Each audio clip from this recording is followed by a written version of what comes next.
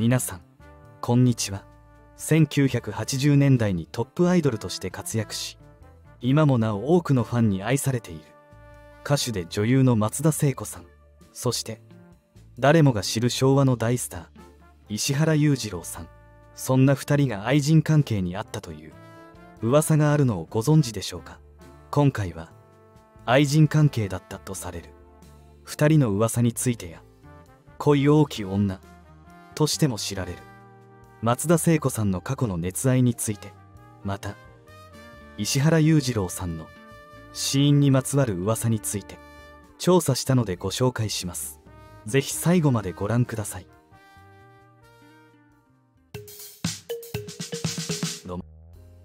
まずはお二人のプロフィールをご紹介します。1962年3月10日生まれ福岡県久留米市出身の松田聖子さん。1980年に「裸足の季節」でデビューし24曲連続でオリコンシングルチャート1位を獲得するなどアイドルとして絶対的な地位を確立しました。40年以上経過し還暦を迎えた現在も歌手として活躍し続けておりその可愛らしいルックスは今も健在で永遠のアイドルの異名を持つ歴代最高のアイドル歌手と言われています。石原裕次郎さんは1934年12月28日生まれ。兵庫県神戸市出身です。1956年。映画「太陽の季節」で俳優デビューしその後は「太陽に吠えろ」「大都会」などで活躍する傍ら歌手としても大成功し言わずと知れた昭和の大スターとなりました。石原裕次郎さんを中心とした石原軍団にはそうそうたるメンバーがおり現在でも抜群の知名度を誇っています。さてそんな2人は一見何の接点もなさそうですが実は過去に歌番組で共演した際にデュエットしたことがあるようです。しかしこのデュエットどこか様子がおかしかったようです。というのも歌い出しから終わりまで松田聖子さんと石原裕次郎さんは終始見つめ合っていました。さらに勘決まったのか。最終的には松田聖子さんが泣き出しそれを慰めるかのように石原裕次郎さんが抱きしめると言った。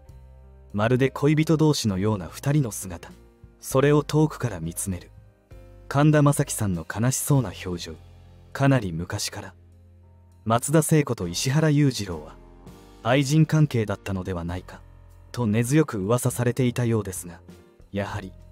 この噂は本当だったのでしょうか？当時松田聖子さんは神田正輝さんと結婚したばかりで石原裕次郎さんは2人の結婚を祝福し結婚式では仲人を務めたくらいですので普通に考えれば愛人関係なんてありえない話。しかしデュエット動画でのラブラブっぷりを見てしまうと松田聖子さんと石原裕次郎さんは本当に交際していたんじゃないか。という疑念も抱いてしまいますよね。実際のところはどうだったんでしょうか。実はこの噂には続きがあり松田聖子さんの娘神田沙也加さんの本当の父親は石原裕次郎さんだと言われているようです。松田聖子さんが石原裕次郎さんの子供を妊娠してしまい自身に子供がなかった石原裕次郎さんが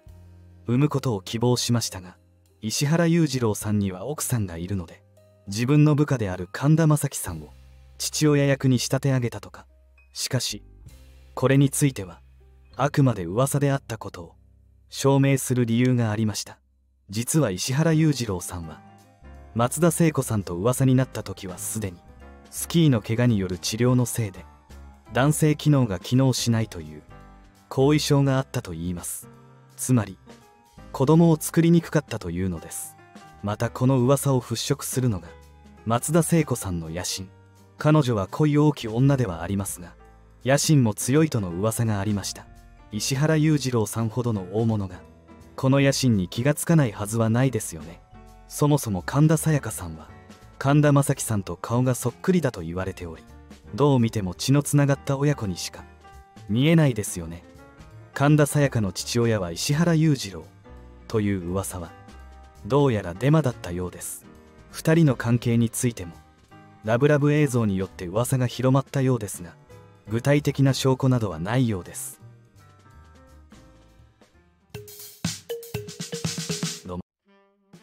さて還暦を迎えた現在でもシワも少なく美魔女とも呼ばれる松田聖子さん。そんな彼女は恋多き女として有名でこれまでにも数々の男性と噂になりました。1984年には当時女性に大人気だったアイドル郷ひろみさんとの熱愛が発覚。報道後松田聖子さんはラジオ番組で郷ひろみさんについて一人の人間として好きですと話していたそうです。しかし翌年には破局を宣言。この時の生まれ変わったら一緒になろうね。と約束をしました。という発言は今も名言として残されています。その後1985年に神田正輝さんとの交際が発覚し結婚に至りましたが1997年に離婚。神田正輝さんの他にも一般男性と2度の結婚と離婚を繰り返しています。1989年頃には近藤正彦さんとの熱愛が報道されました。ニューヨークのホテルのロビーで仲睦まじげに話す姿が報じられましたがこれが本当だとしたら神田正輝さんと結婚した後なので不倫ということになります。さらに1992年頃にはアメリカ人タレントのジェフ・ニコルスさんとの交際が噂されました。きっかけは不倫報道で2人のキス写真が掲載されたことのようです。他にも数々の男性との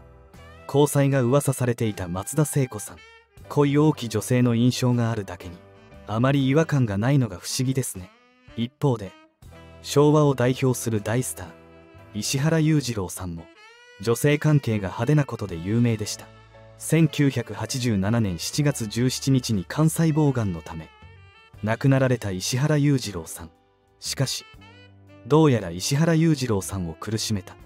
解離性大動脈瘤という病気は動脈硬化や梅毒によるものが多いと言われているため派手な夜遊びを繰り返していた石原裕次郎さんは梅毒だったのではないかと噂されたようです。梅毒の場合は性病なので生前浮き名を流していて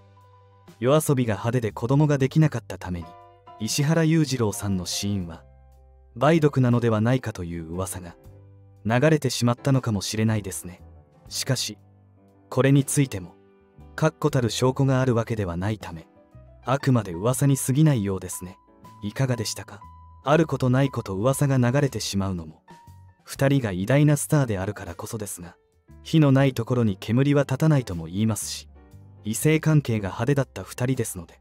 愛人関係については完全なデマとも言い切れないですね。とはいえ石原裕次郎さんは松田聖子さんのことを娘のように可愛がっていたそうなので今も空の上から見守ってくれていることでしょう。そして現在も精力的に歌手活動を行っている松田聖子さん今後も永遠のアイドルの活躍が楽しみですね。最後までご視聴いただきありがとうございます。コメントを残してくれると嬉しいです。チャンネル登録高評価もぜひお願いします。それではまた。